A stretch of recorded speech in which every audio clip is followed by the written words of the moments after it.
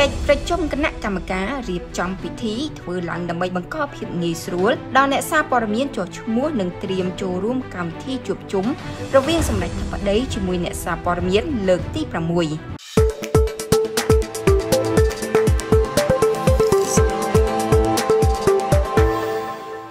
កិច្ចប្រជុំគណៈកម្មការរៀបចំពិធីប្រារព្ធធ្វើឡើង ដើម្បីពិនិត្យឡើងវិញនៅរាល់កិច្ចការងារដែលអនុគណៈកម្មការនីមួយៗសម្រាប់អនុវត្តបាននិងពន្លឿនកិច្ចការងារដែលនៅសេសសល់ឲ្យបានឆាប់រួចរាល់ដើម្បីបង្កភាពងាយស្រួលដល់អ្នកសារព័ត៌មានចុះឈ្មោះនិងត្រៀមចូលរួមកម្មវិធីជួបជុំរវាងសម្ដេចធិបតីហ៊ុនម៉ាណែតជាមួយនឹងអ្នកសារព័ត៌មានលើកទី6នៅថ្ងៃទី3ខែឧសភាឆ្នាំ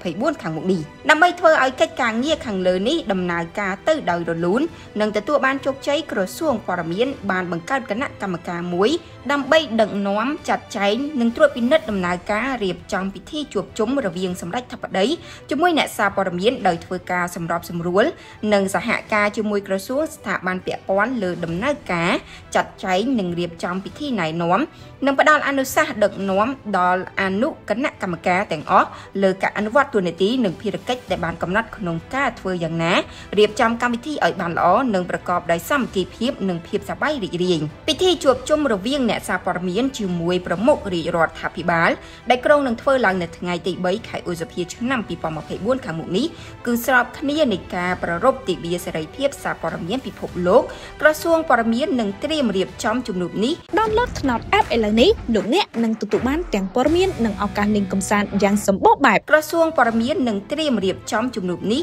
ហើយក៏នឹងប្រមូលនៅបញ្ហានិងកង្វល់នានាដែលស្ថានីយ៍វិទ្យុទូរទស្សន៍និងអ្នកសារព័ត៌មានបានលើកឡើងដាក់ជាសំណើក្នុងក្របខ័ណ្ឌរួមមួយដើម្បីដាក់ជូនសម្ដេចធិបតីហ៊ុនម៉ាណែតពិនិត្យនិងដោះស្រាយក៏រំលឹកផងដែរថាគិតចាប់ពីឆ្នាំ2017រហូតដល់ឆ្នាំ2023នេះ ជំនួបរវាងអ្នកសារព័ត៌មានជាមួយនាយករដ្ឋមន្ត្រីគឺបានធ្វើឡើងចំនួន5លើករួចមកហើយប៉ុន្តែត្រូវខកខានធ្វើនៅឆ្នាំ2021និង22ដោយសារការរីករាលដាលនៃជំងឺ Covid-19